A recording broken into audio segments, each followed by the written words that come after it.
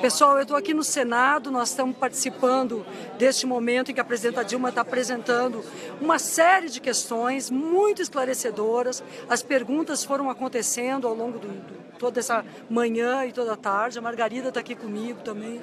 Várias deputadas e deputados, senadores e senadoras que sustentam um projeto democrático para o Brasil.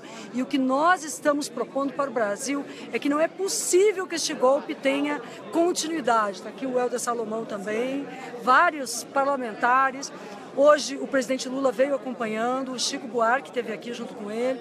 E o principal foi a tranquilidade com que ela está, é, está sendo a tranquilidade com que ela está apresentando cada uma dessas ideias, cada uma das razões pelas quais efetivamente isso aparece como um golpe diante da nação.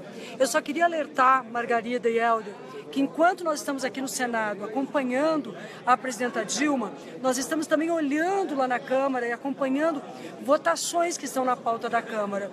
Porque na pauta existem medidas provisórias, existem comissões especiais que estão colocadas em funcionamento, como a da PEC 241, que ferem a estrutura do Estado brasileiro.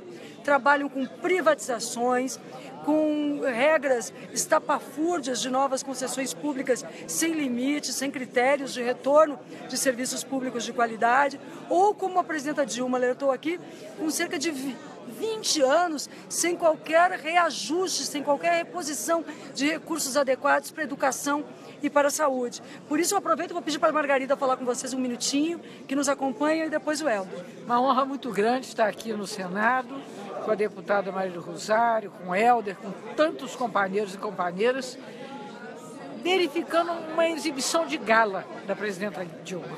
Uma guerreira, uma mulher que cresce na luta.